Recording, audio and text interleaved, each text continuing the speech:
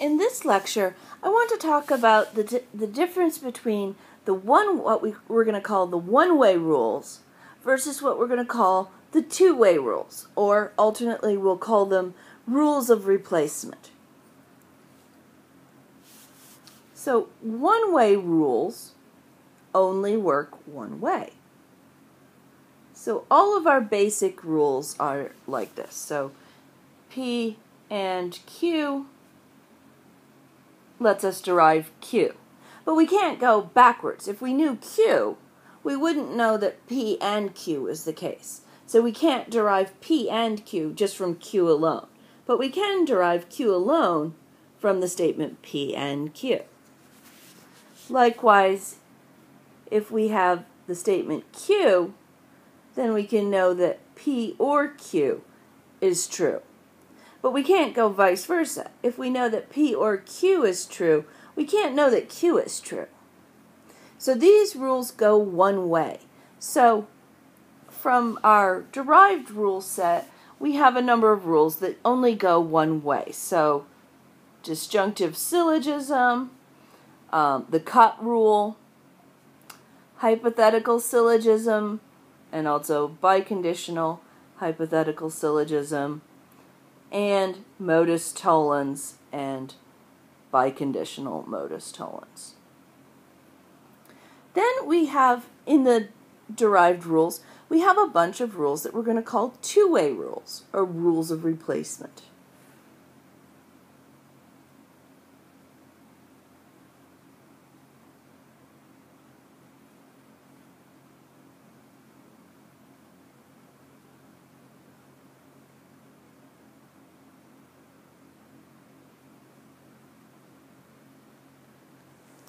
So, rules like the rule of commutativity, um, the rule of associativity,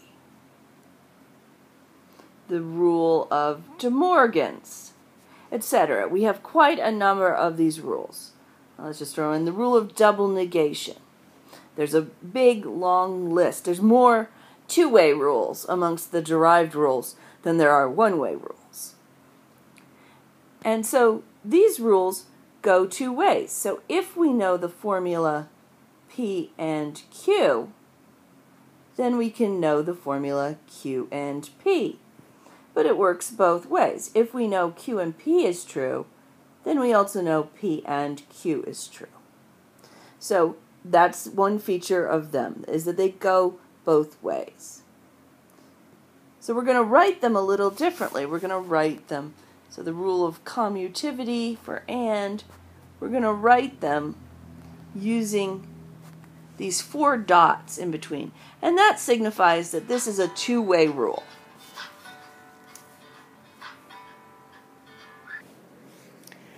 Okay, so as I was saying, these rules um, go both ways, and we indicate this using the four dots. Um, and the, here's the beauty of them going both ways that it's this really cool trick that I'm going to show you. What's different about the two way rules, or as we call them, the rules of replacement, and this, when I show you this, it'll become obvious why we call them rules of replacement, is that unlike the one way rules, these, can, these rules can be applied to parts of lines. So suppose I have the formula P and Q, arrow R. And for some reason, I would like to have the formula Q and P, arrow R. Well, I can have that by the rule of commutativity on line 1.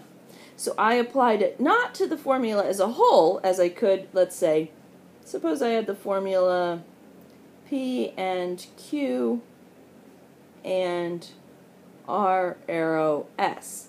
I could apply commutativity to the whole formula because the main connector is an AND. And I could write R arrow S and P and Q. And that would be by commutativity on 3. Okay, so I can do either one and it's completely legal. I could even, if you want to, you're even allowed to do two applications of the same rule in one step. So suppose what I really wanted was I wanted not only to switch the order of the conjuncts of the statement as a whole, but suppose, oops, I need to, it needs to be the same letters though. How about Q and P? Um, suppose I also wanted to switch the order of the conjuncts of the left conjunct of the statement as a whole. Then I could do that. If that doesn't get you confused, as long as it doesn't get you confused, um, I don't recommend you do too many of these sort of double applications at once because um, it can get really, really confusing. But as long as it seems pretty straightforward, like if I had the formula, let's say Q and P, um, arrow, R or S, then I could do commutivity on both halves. So I could write P and Q, arrow, S or R. And that's not confusing at all. That's pretty easy to follow. But if it starts to get too many conversions, it's probably better to take it in a number of steps. Um, one thing you can't do is so we have a rule. Um, let's say there's the rule of double negation. So suppose I have the formula P and Q arrow R, let's say. And I want, what I want is the formula Q arrow R and not not P. Let's say, for some reason. Well, I cannot do that in one step. Don't do that. So you can do multiple applications of the same rule, but you can't do an application of two different rules um, at once. So I would have to, let's say I first did the commutivity part. So this first one here is by commutivity. And then I did the double negation part. That would be fine. That's how you have to do it. If you need to do two different things to a given formula to get whatever you want, then do it in two steps. But you can see here, um, one, the first step was to the to the rule as a, to the formula as a whole. I commuted the whole formula. Whereas the double negation, I only double negated just a part of it.